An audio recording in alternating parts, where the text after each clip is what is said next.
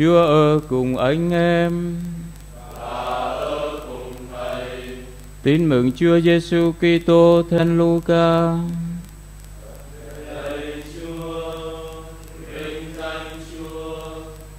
Khi ấy, Chúa Giêsu nói: Khốn cho các ngươi hỡi các người pha ri các người nộp thuế thập phân về bạc hà, vân hương và đủ thứ rau cỏ, mà sao lãng lẽ công bình và lòng yêu mến Thiên Chúa.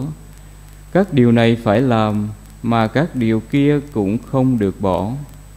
Khốn cho các người hỡi các người pha -ri các người thích ngồi ghế đầu trong hội đường, thích được người ta chào hỏi ở nơi công cộng. Khốn cho các người, các người như mồ mả không có gì làm dấu, người ta dẫm lên mà không hay. Một người trong số các nhà thông luật lên tiếng nói, Thưa Thầy, Thầy nói như vậy là nhục mạ cả chúng tôi nữa. Đức Giêsu nói, khốn cho cả các người nữa hỡi các nhà thông luật, các người chết trên vai kẻ khác những gánh nặng không thể gánh nổi, còn chính các người thì dù một ngón tay cũng không động vào.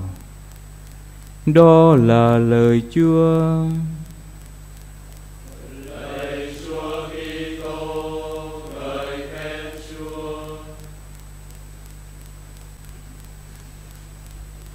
Kính thưa quý cha và anh em, bài tin mừng hôm qua cho chúng ta thấy Đức Giêsu khiển trách những người biệt phái Pharisêu quá lo hình thức lễ nghi bên ngoài mà bỏ mất tinh thần bên trong qua việc Đức Giêsu dùng bữa tại một gia đình người biệt phái Pharisêu và người biệt phái cảm thấy lạ khi Đức Giêsu không rửa tay trước khi ngồi vào bàn dùng bữa.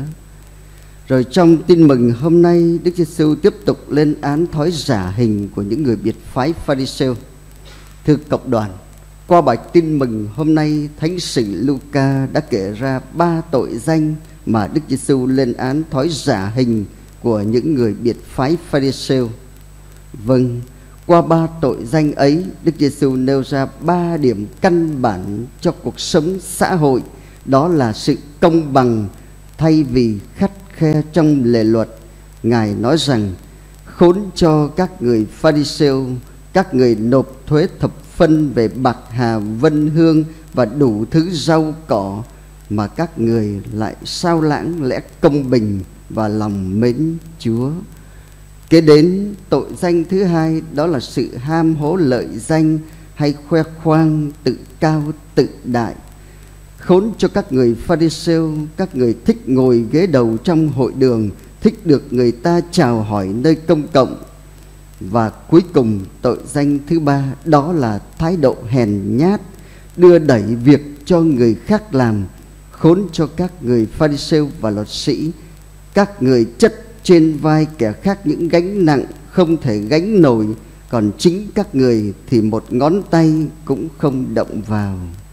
Ở đây Đức Giêsu đã kịch liệt lên án những người biệt phái Pharisêu là bởi vì họ là những người là những nhà mô phạm và thuộc hàng lãnh đạo tinh thần của do Thái giáo. Thế nên họ đã thế mà là họ lại đi ngược lại với điều luật Thiên Chúa để mà tìm danh vọng và lợi lộc cho bản thân mình.